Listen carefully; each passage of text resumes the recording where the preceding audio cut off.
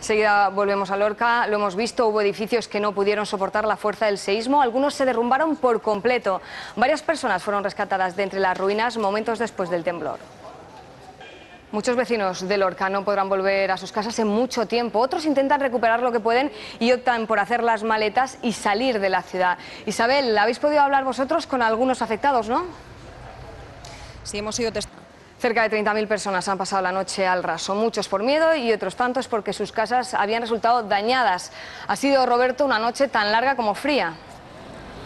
Larga y el primer temblor se produjo a las 5 y 5 de la tarde, el segundo, el que causó casi todos los daños, a las 7 menos 13 minutos. Con epicentro muy cerca de Lorca y muy superficial, tuvo una intensidad de 5,1 grados en la escala de Richter.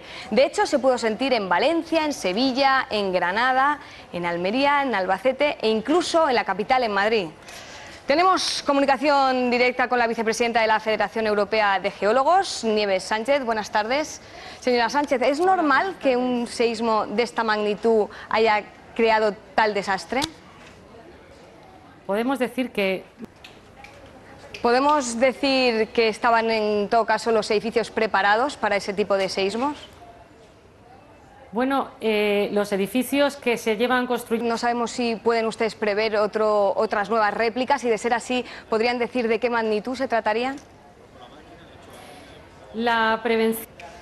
Muchísimas gracias, señora Sánchez. Vamos a seguir con más asuntos. En nuestra web hoy preguntábamos si creen que los edificios en España están preparados para soportar seísmos.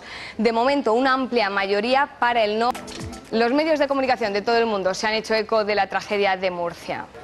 Zapatero y Rajoy decidieron anoche suspender la campaña electoral. Hoy se han sumado el resto de las formaciones políticas que han convertido los actos matinales en gestos solidarios. El líder del PP ha visitado a los afectados en Lorca.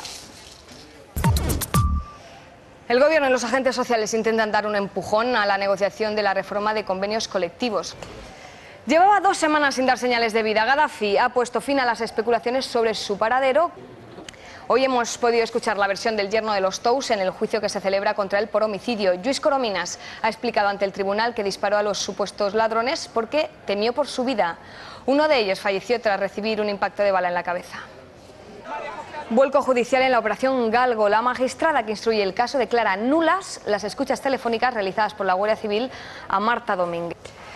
Descienden los fallecidos en nuestras carreteras, pero aumenta la siniestralidad entre los menores de 14 años.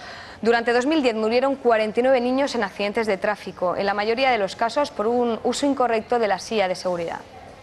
Las marcas punteras de la industria del automóvil presentan sus novedades mundiales estos días en Barcelona. Lo último son coches transformables. Antes de la despedida volvemos en directo a Lorca. Allí sigue nuestro compañero Roberto Arce. Roberto, ¿cuál es la última hora? Realmente que... Es todo de momento, toda la última hora de lo que está sucediendo en Lorca, esta noche a las 9 con Matías Prats y con Roberto Arce desde la ciudad murciana. Ahora les dejamos con Manu Sánchez y los deportes. Pasen una buena tarde, hasta mañana.